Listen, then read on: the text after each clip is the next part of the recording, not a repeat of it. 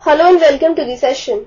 In this session we discuss the following question which says evaluate integral e to the power x upon square root of 5 minus 4 e to the power x minus e to the power 2x dx.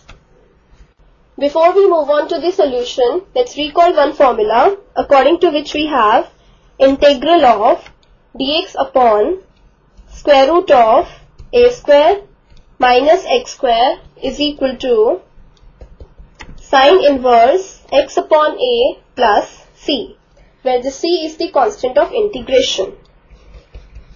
This is the key idea that we use in this question. Now we move on to the solution. We take let i be equal to the given integral that is integral e to the power x upon square root of 5 minus 4 into e to the power x minus e to the power 2x dx. We put e to the power x as t, now differentiating both sides with respect to x, we get e to the power x dx is equal to dt.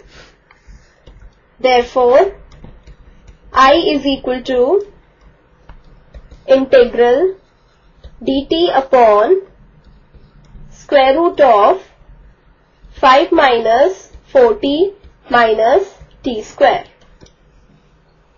Now further we get this is equal to integral dt upon square root of now to make this expression in the square root a complete square we add 4 and subtract 4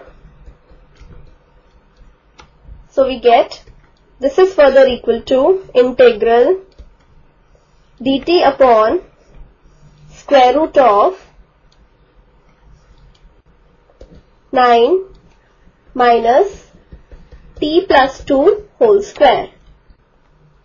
Further we get integral dt upon square root of 3 square minus t plus 2 whole square by using this formula to evaluate the integral, we get this is equal to sine inverse t plus 2 upon 3 plus c.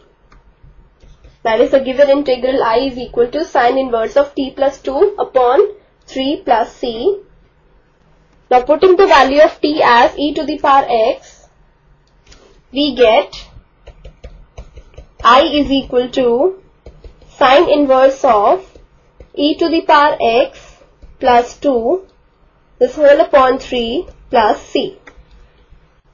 Thus,